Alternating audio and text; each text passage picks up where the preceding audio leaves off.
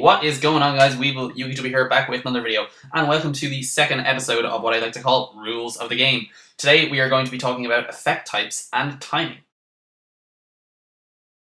So, as we all know, there are various types of monster effects in Yu-Gi-Oh! Most of us know these only intuitively, whereas I believe it is much better to have a single set of terminologies by which one can define them and a certain set of texts uh, on cards by which one can define them as well. That way, there is never any ambiguity as to what effect in fact is. So the effects are ignition, trigger, continuous, and quick, either single or multi-trigger, depending on what effect. I'll be talking about that soon. So a diagram will look something like this. I'm not going to go over in too much detail, however. Uh, I'm going to get straight into the effects. So uh, you can take a look at this diagram for a minute and then um, move on to the next section. Okay, so first we have the ignition effect. This is perhaps the most common type. As the name suggests, the ignition effect is one which is ignited or initiated by the turn player. In my last video, I discussed fast effect timing and priority, and it's precisely the priority of the turn player to activate this type of effect on normal summon, which was removed from the TCG. So remember that these effects are always placed on chain link 1, since all other chainable events have to resolve before they can activate their effects. This includes the chainable event which could possibly arise in response to their own summon.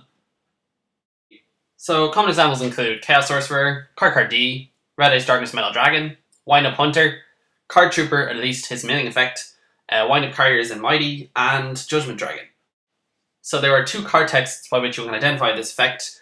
Uh, they are You Can, which implies more than once per turn. An example of that would be Judgment Dragon. And also, once per turn, you can da da da. Uh, an example of that would be Red Eyes Darkness Metal Dragon, Inzektor Dragonfly, Chaos Sorcerer, and Card Trooper. These effects can also have costs, but remember that all costs must be paid for these effects. Even if the effect's activation is negated, the cost to attempt the activation is still paid, and it is always paid. That is something that people seem to forget about sometimes. That is why it is always a better idea to drop Effect Veiler on the activation of a monster's effect that has a cost, rather than on the summon, except in the case of Rescue Rabbit and Lone Blossom, who remove themselves from the field as their own costs, and so Effect Veiler, uh, its effect dissipates. So a summary would look something like this. They must always be placed on chain link 1 and initiated by the turn player. Uh, all chainable events must resolve before they can activate. All costs must be paid. And monsters with these effects must remain face up on the field for their effects to resolve. Something to note before I move on is that uh, you cannot mix up ignition effects with summoning conditions. Light Pulsar's effect, for example, says you can special summon this card from your hand, yada yada yada. That you can would make you think that it's an ignition effect, but it's actually a summoning condition. And for that reason, you cannot respond to it in any kind of chainable way. You cannot respond passively to a Cyber Dragon's ability to special summon itself from the hand if your opponent controls a monster and you don't, but it's just something to keep an eye out for. Also, alongside summoning conditions, summoning restrictions can't be negated or vetoed, so I'd be careful about that. For example, Scrap Chimera's only being able to sink into a Scrap monster cannot be negated. But let's move on, shall we? So next of all, we have trigger effects. As the name suggests, these effects are triggered or set off by an action either by you or your opponent. Uh, for that reason, they are usually placed on chain link 1 or 2, depending on situation. Uh, and unlike ignition effects, these can activate in various locations, not just on the field. They can activate in the hand, field, graveyard, or banished zone, depending on the card. So typical examples include Battle Fader, Gachi Gachi Gantetsu, all Hieratic Dragon monsters, Light Pulsar Dragon, Reborn Tengu, and one of everyone's personal favourites, Tour Guide from the Underworld. So these effects can be identified by two simple words, when and if. If either of these appear at the beginning of the text of a card effect, then they are trigger effects. When this card is normal summoned, when this card destroys an opponent's monster by battle, uh, if this card would be destroyed, if this card in your graveyard is banished, etc. Another feature of trigger effects is that they can respond both to chainable and non-chainable events. Naturia Cosmobeet, for example, can respond to the setting of a monster, which is a passive event and typically isn't chainable. The same goes for the newly released Blood Mephist, who, when your opponent sets a spell or trap card, can inflict 300 damage to them. Again, an event which isn't chainable.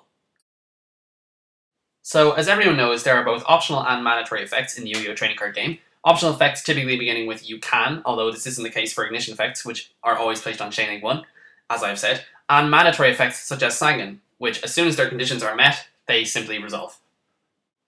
So in most cases, timing is not an issue. Essentially, the turn player's effects always resolve first if there are simultaneous activations, unless the opponent has a mandatory effect and the turn player has an optional one. E.g. at the bottom, as I said there, for mandatory, mandatory, mandatory optional, and optional optional, the turn player's effect uh, activates first. Timing is typically an issue when an effect with two parts interrupts an optional effect with only a single part in the same chain link. Let's say I flip on my Ryko and to destroy my opponent's face-up Gear Town. Gear Town specifically states that when this card is destroyed and sent to the graveyard, you can special summon one ancient gear monster from your hand deck or graveyard. The issue for Gear Town, however, is that Ryko's second effect, the milling, still has to resolve, and by the time it does, Gear Town misses its timing. Some people are under the impression that all parts of an effect, such as Ryko's, resolve together before other cards in the chain link do. This is simply not the case. Each effect resolves in turn as it occurs, but the chain links are preserved. So Gear Town misses timing because Ryko still needs to mill. But when would Gear Town not miss timing? Well, the rule is as follows. If an effect is the last thing to happen in a chain link, it does not miss timing. If Gear Town's destruction was the last thing to happen, for example, as a result of a Mystical Space Typhoon, it will resolve as normal. Another common example nowadays is Light Pulsar Dragon versus Soul Taker. Again, Light Pulsar Dragon misses timing because it's being sent from the field to the graveyard is not the last thing to happen. When your opponent activates Soul Taker, you still need to gain a thousand life points even after the monster has been destroyed. So just remember that rule and you'll basically be fine. So a summary would look something like this. Triggered by an action by either you or your opponent, the effect can be optional or mandatory, can activate in response to both chainable and non-chainable events. If optional, the effect can miss timing if an effect with several parts is still resolving. Activations can be on the field, the hand, the graveyard, or the bench pile, and the effects are typically recognizable by the words when or if. Next we have continuous effects, the more boring of the lot. Uh, basically, as soon as a monster is faced on the field that has a continuous effect, the effect is continuously active, as the name suggests. Secondly, it doesn't participate in any chain links whatsoever. Since it is active already, it precedes any activations. Examples include cards which benefit the monster itself, such as Spirit Reaper, cards which boost attack points, such as the Shining, and cards which restrict your opponent, such as Koa'ki Meiru King Tiger Wanghu, and Archlord Kristya. Not really much else to say about these effects. As long as the monster remains face up on the field, the effect remains continuously active. If Skill Drain is activated, obviously the effect is negated, and you could kill, say, a Spirit Reaper while in face up defense position.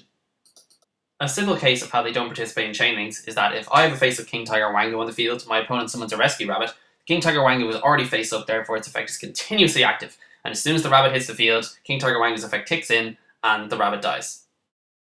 Just remember that in general for continuous effects, it's nothing to do with continuous effect outspeeding any other effects. It's simply that they were already facing in the field and active when another card comes into play. Moving swiftly on.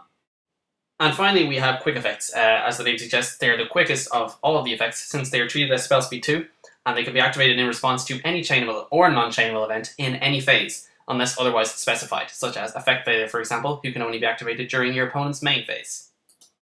Common examples include the aforementioned Effect Veiler, as well as other hand traps such as DD Crow, Maxx C, also Wind Up Rabbit, and the likes of Six Samurai Enishi.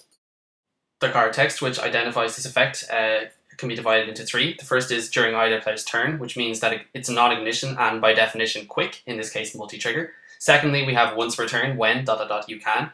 In this case, it's quick and single trigger, since it can only be activated once. And thirdly is you can. So the summary of trigger points goes as follows. A single trigger effect always says once per turn, and a multi-trigger effect can be activated during your opponent's turn during more than one phase, at any point in a chain, and, and hence has multiple trigger points. For instance, if someone summons a monster against my Enishi, if someone summons a monster against my Wind Up Rabbit, declares an attack, activates a card, whatever, whether it's chainable or non-chainable, I can activate those effects. I can banish that rabbit, I can bounce that card back to the hand.